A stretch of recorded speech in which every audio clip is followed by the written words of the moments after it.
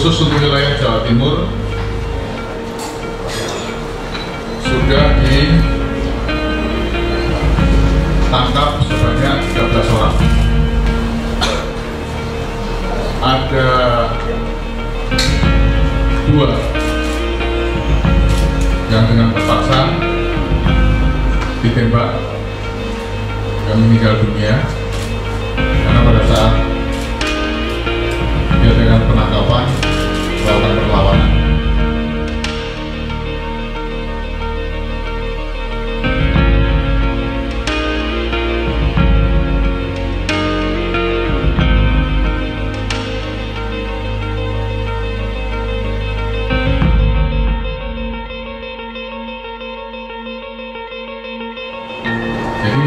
diduga mereka ini Wicang, kita dan Pri ini memang sudah siap melakukan